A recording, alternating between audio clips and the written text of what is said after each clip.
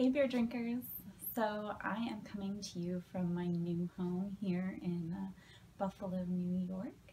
And I've been here about hmm, five months now and I've really been surprised at how quickly Buffalo has really felt like home to me.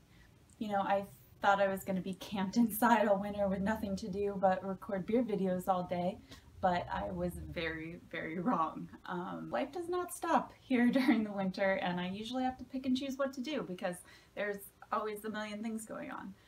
So it's been a lot of fun. So for those of you unfamiliar with Buffalo, which I assume is probably most of you, I made you a handy diagram.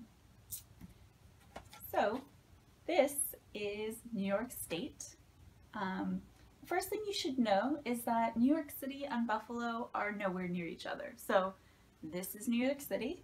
Uh, this is Buffalo. It's on the other side of the state. Um, this is Canada. and there's some Great Lakes here and Canada's over here. So Buffalo actually has a way more in common with Canada than it does with uh, New York City. Uh, so much so that they actually fly the Canadian flag everywhere here. Uh, you go to City Hall, they've got the US flag and they've got the Canadian flag. I don't even think I know what the New York State flag looks like because uh, they don't really fly it anywhere. Canada wins, apparently. Um, our relationship with Canada is apparently more important than the one with the rest of the state. Um, but it's fun. It's, it's different and definitely not something I was expecting when I moved here. So that's your geography lesson for the day, but it's time to get back to the beer. So I am quite surprised at how quickly my beer preferences changed when I moved out here. You know, instead of going for those really hoppy IPAs that I drank all the time in San Diego, I'm definitely going for much heartier beers out here. This beer in particular has kind of become my go-to winter beer this season. This is the Brooklyn Brewery Black Chocolate Stout. And of course, after I just spent all that time explaining to you how New York City and Buffalo have nothing in common, I choose a Brooklyn beer over a Buffalo one. But ignore that. and uh, before I uh, go more into this, I'm going to open it and take a sip. I do have this uh, sweet Buffalo beer glass. Um, this was one of my my first purchases here.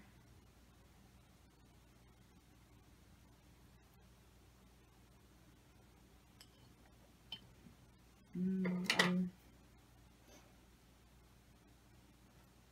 so this beer here, the Black Chocolate Stout um, from Brooklyn Brewery, pretty much hits all of my requirements for being a good go-to winter beer.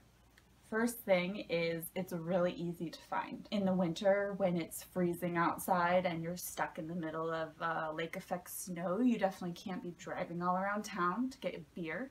And this I can pretty much pick up at any grocery store, six packs around $10. You can get your beer and get home and you're good to go. Second, I'm going to want something with a pretty dense body and flavor, um, especially when it comes to a stout. I can't stand watery stouts. They drive me crazy. Um, so chances are if you can see through it, I'm not going to like it. And this guy is pretty dark. There's nothing to see through here. And my last requirement, and this one might be controversial, but I like something with a high alcohol content. So this baby here is 10% ABV. It's not joking around. Um, you know, I like it because I can just have one and it warms me up and I get a good buzz and it satisfies my beer craving and then I'm done. You know, in the summer, you're at barbecue, you don't want something this heavy or with this much alcohol, but in the winter when it's freezing and you're huddled up with your blankets and your cat and there's a blizzard outside, I don't mind just going for efficiency and this one definitely takes care of that for me. So what about you guys? Uh, what are your go-to winter beers? Uh, if you don't have winter, like kind of San Diego, what do you, what's your go-to all-around beer or all-season beer? Let me know in the comments. I would love to hear about it. And since my videos have been so sporadic, if you want to follow my beer adventures here in Buffalo, New York, uh, you can follow me on Instagram at Hop of the Morning. And it's all beer all the time, so you don't have to worry about other boring parts of my life. It's pretty much just beer. Until next time, friends, happy drinking.